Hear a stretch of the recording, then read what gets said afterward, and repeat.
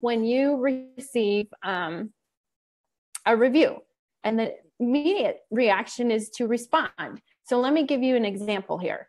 We at Accelerate Marketing, yep, we have 174 Google reviews.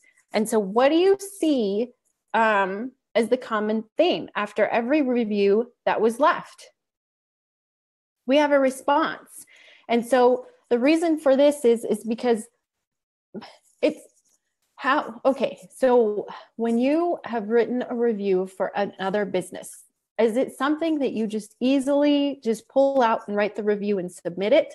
Or do you have to go through a process of what am I going to say? How do I really convey my thank you? And and maybe I'll just put five stars and just press submit because I don't know what to say.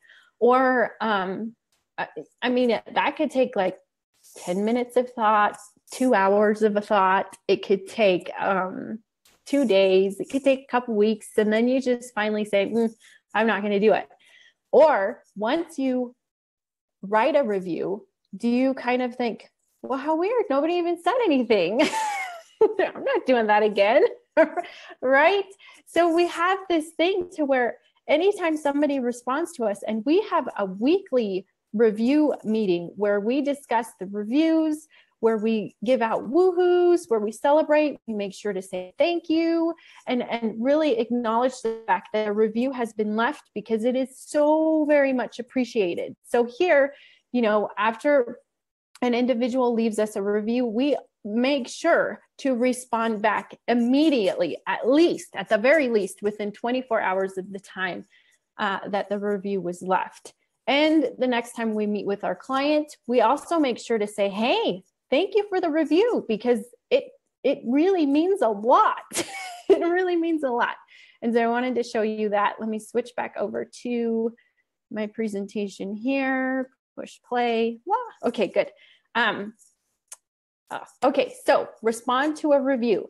Now, 17%. Now, this information is coming straight from the 2017 Consumer Review, Review Survey that BrightLocal um, gives out every year. And so uh, their 2018 one, I think I read something about it coming out here in the next couple of weeks. So we'll be able to see how these numbers um, increase from the previous year. And they have, I mean, from 2016 to 2017, there's been a significant increase in these numbers. And it's not decreases, it's always some type of increase or some type of change. So reviews do make a huge impact on your business. And it's something that I would encourage you to um, make a priority. 17% fewer people will visit a business website um, after reading uh, good re- reviews. I think I typed that wrong.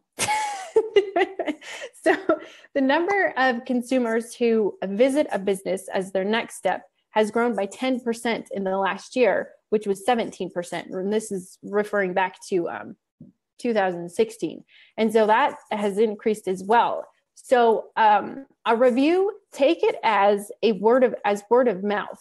And and tell me, guys, how many times have you um, considered a new business and and gone to Google and read their reviews and I mean, how did you feel when you were reading some of their reviews? Was your decision based off of what those uh, customers left? Or did you move on to another business based off of what a customer left?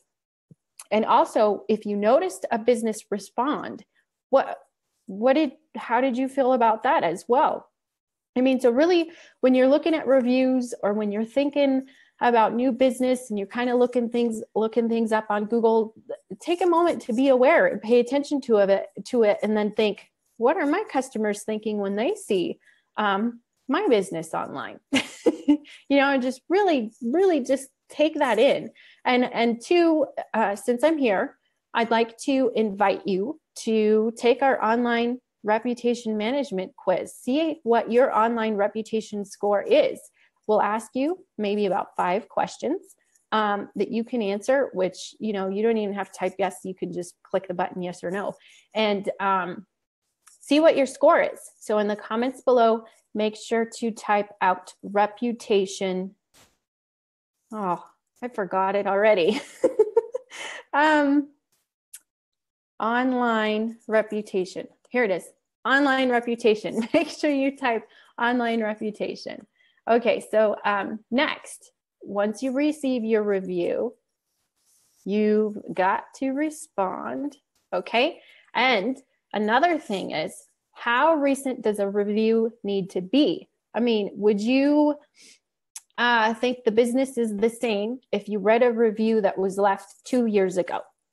If would you think that um, the business is the same if you read a review six months ago? What about four months ago? Or do you look for the most recent review in order to make a decision? Because 77% of consumers that think that reviews older than th- three months aren't relevant anymore. And so this is a continual process, which is why when you're working with clients on a daily basis, a weekly basis, or a monthly basis, um, it's it's very important to ask for a review when you've earned it. And if you're kind of curious and you didn't catch my video yesterday, uh, take a look at it because I give you the two W's of how to ask for a review when you've earned it. Um, 18% of consumers only care about reviews submitted within the last two weeks. So let that set in because um, one, it takes um, it takes um, a while to get a review, and then that review, you know, is good for two weeks. So so um, that's why we got to keep asking, and that's why we got to keep giving thanks for those who leave a review. and four percent of consumers pay any attention to reviews submitted over a year ago. So when you receive your review, it is important to say thank you, like I've said, and it's also important to share it on your social media sites. To, um, I mean, you could just take a quick screenshot and say, you know, thanks to this client, it, it and you can even um, write a copy and paste your response back instead of trying to think of something else before you post it, and you can post that. Now, we also have a really cool system that um, markets your reviews to the world um, to see in such a neat way. And we'll get into that um, later. But our our system is really cool, and so it's very important to you know share those reviews with the world. And also, Google offers some really neat. Uh, it's a neat kit if you have a Google My Business page and it's only a one time thing, but you can request a postcard of a review that was left so that you can hang it in your um, place of business. You can hang it in your office. You can hang it in the in the store, um, or you can hang it like near the staff area so you can remind the staff to ask for continuously ask for reviews. Um, so let's see. Let's move to the next. Now, have you ever left a review for another business? I know I kind of touched base with this a few minutes ago, but um, 26% haven't yet reviewed a local business, but would consider it. And so, what we like to say is seven out of 10 people will say yes if you simply ask for a review, ask, them to leave a review. And so, um, sometimes people don't like asking for a review because rejection is always you know some type of fear or some type of thing but um, go for a hundred no's in a year and see how many reviews you get 63% consumers have written a positive review for local businesses and 32% have left reviews for negative experiences. So you rarely you know um, you would get you may or may not get a negative review but i mean it's something that you shouldn't be shy about because those reviews are the most valuable feedback that you can have on making your business that much sweeter or that much better. And so uh, those reviews are always um,